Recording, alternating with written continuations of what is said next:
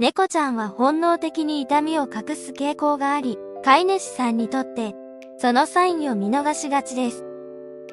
しかし、普段の行動や仕草の中に、痛みや不調を訴える微妙な変化が隠されていることがあります。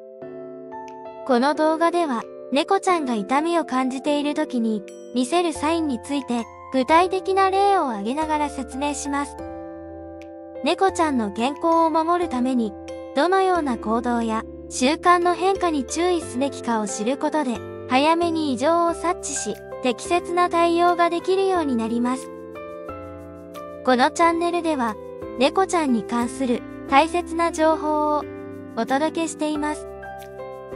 少しでも興味を持っていただけたら、どこのチャンネルかわからなくなる前に、チャンネル登録をお願いいたします。その1、食欲が急に低下する。猫ちゃんが痛みを感じている際に、最も顕著に現れるサインの一つが、食欲の低下です。特に、普段は食欲旺盛な猫ちゃんが突然食べなくなる、または好物ですら口にしなくなる場合は、体調不良や痛みを疑う必要があります。内臓の問題や歯の痛みなどが原因となり、食事を避けることがあります。食事をとることでさらに痛みを感じるため、猫ちゃんは無意識に食べることを避けるのです。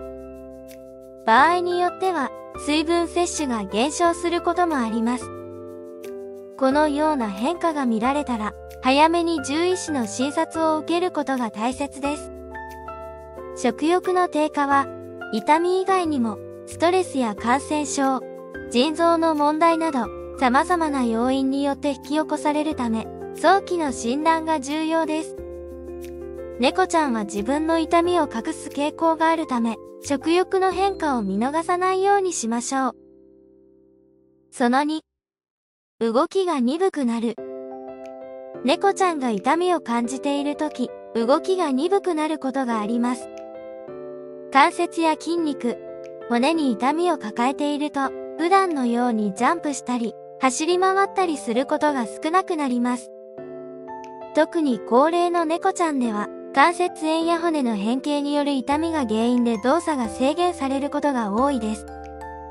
猫ちゃんは痛みを隠すため、普段とあまり変わらないように見せることが得意ですが、よく観察すると、ジャンプの高さが低くなったり、階段を登るのを嫌がるようになるなど、微妙な変化が見られます。さらに、痛みのために動きたくなくなることで、寝ている時間が増えることもあります。こうした動作の変化が見られる場合、体のどこかに痛みがある可能性が高いので、早めに対処することが重要です。その3、特定の場所を触られるのを嫌がる。猫ちゃんが痛みを感じている場合、特定の場所を触られるのを嫌がることがあります。普段は撫でられるのを好む猫ちゃんが突然触られるのを嫌がったり、触れられると怒ったりするようになった場合、その部分に痛みがあるかもしれません。例えば、背中や腰、足などに異常があると、その部分を触られることに強い不快感を示します。さらに、触られた時に急に逃げたり、攻撃的な反応を示したりする場合は、痛みがかなり強い可能性があります。こうした行動は、内臓の痛みや皮膚のトラブル、骨や筋肉の損傷など、様々な原因が考えられます。猫ちゃんの体を撫でる際に、どこか触れたくない場所がないか、注意深く確認することで、早期に痛みの兆候を見つけることができます。その4、トイレの頻度が変わる。猫ちゃんのトイレの頻度が変わることも、痛みや体調不良のサインです。例えば、トイレに行く回数が増えたり減ったりする場合、尿路や腎臓の問題、便秘や下痢などが疑われます。また、排尿や排便の際に痛みを感じると、トイレを避けるようになることもあります。猫ちゃんがトイレの外で排泄するようになる、トイレの中で長時間過ごすなど、異常な行動が見られる場合は、すぐに注意が必要です。さらに、トイレの頻度に加えて、排泄物の状態もチェックすることが重要です。尿の量が減っていたり、便が硬すぎたり柔らかすぎたりする場合は、内臓の問題や痛みの可能性があります。トイレの習慣の変化は痛みを示す重要なサインとなるため、早期に異変に気づくことが大切です。その後、隠れる時間が増える。猫ちゃんが痛みを感じていると、普段よりも隠れる時間が増えることがあります。猫ちゃんは本能的に弱みを見せたくない動物で、痛みや体調不良を感じると、静かな場所に隠れてしまうことがよくあります。特に、いつもは家族と一緒にいるのを好む猫ちゃんが、急に一人で過ごす時間が増えたり、狭い場所に隠れるようになった場合、体調に何か異常がある可能性があります。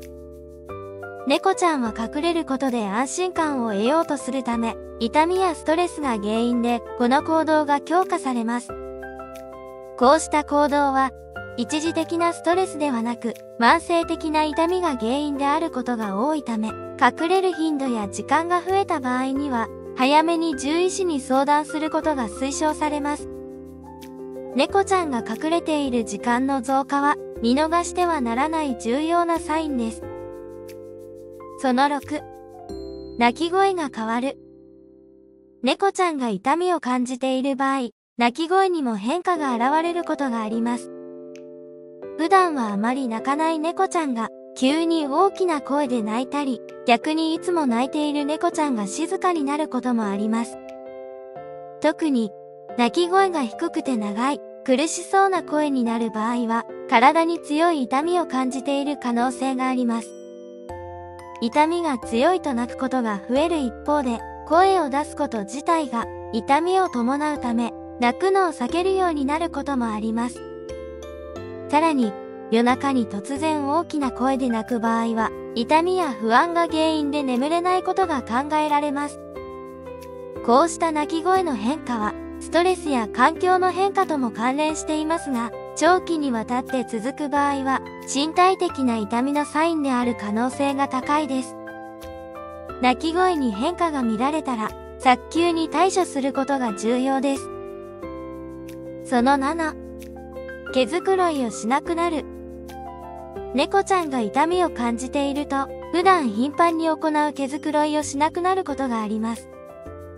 健康な猫ちゃんは、清潔さを保つために、一日の多くの時間を毛づくろいに費やしますが、体に痛みがあると、その行動を控えるようになります。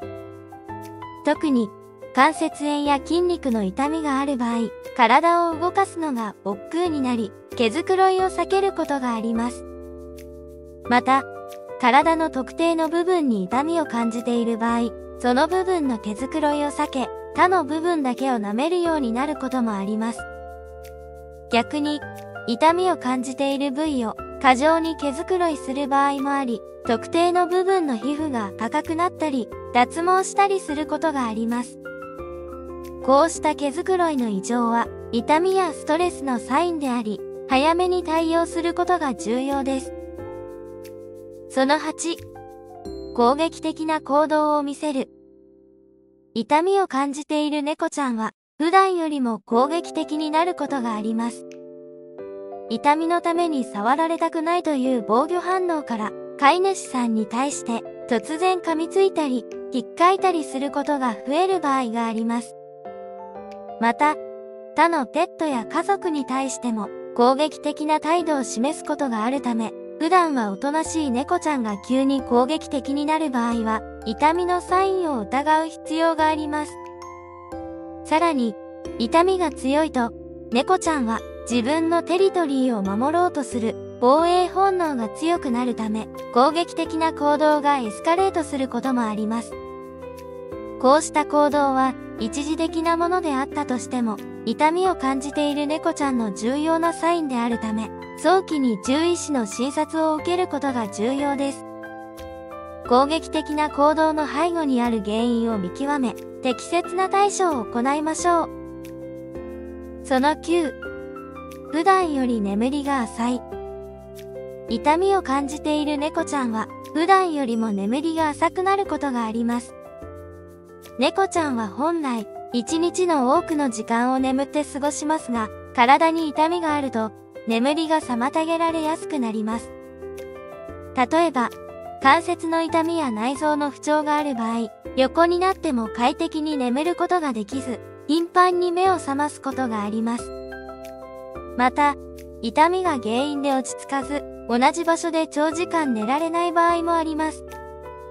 さらに、痛みのせいで体を動かすのが辛くなり、寝返りを打つことさえ困難になることもあります。このような場合、猫ちゃんは十分な睡眠が取れず、日中の活動も鈍くなります。猫ちゃんの睡眠パターンに変化が見られた場合、それが痛みのサインである可能性があるため、注意深く観察し、必要に応じて専門家に相談することが大切です。その10、姿勢が不自然になる。猫ちゃんが痛みを感じていると、姿勢に異常が現れることがあります。例えば、背中を丸めたまま歩く、首を下げたままにする、または体を引きずるようにして歩くなど、不自然な姿勢を見せることがあります。これらの姿勢は、内臓の不調や骨、筋肉の痛みを示している場合が多いです。また、痛みが強いと、普段のように体を伸ばしてリラックスすることができず、常に緊張した状態で過ごすようになります。特に、高齢の猫ちゃんや慢性的な疾患を抱えている猫ちゃんは、このような不自然な姿勢をとりやすくなります。姿勢の変化は、痛みを抱えている猫ちゃんにとって非常にわかりやすいサインであるため、猫ちゃんの体の動きや姿勢に注意を払い、異常があれば、早めに対処することが重要です。猫ちゃんは痛みを感じていても、それを飼い主さんに直接伝えることはできません。そのため、今回紹介したような行動の変化に気づくことが重要です。例えば、食欲が減ったり、歩き方がぎこちなくなったり、トイレの習慣が変わったりすることが痛みのサインである場合があります。また、普段は触られるのが好きな猫ちゃんが急に触られるのを嫌がったり、特定の部位を頻繁に舐めたりすることも、痛みを隠している可能性があります。これらの小さなサインを見逃さず、必要に応じて動物病院での診察を受けることが、猫ちゃんの健康と幸福を守るために大切です。日々の観察を通じて猫ちゃんの変化に気づく力を養い、より安心できる生活を提供しましょう。このチャンネルでは、今後も猫ちゃんの大切な情報を発信していきますので、ぜひチャンネル登録をお願いいたします。では、また次の動画でお会いしましょう。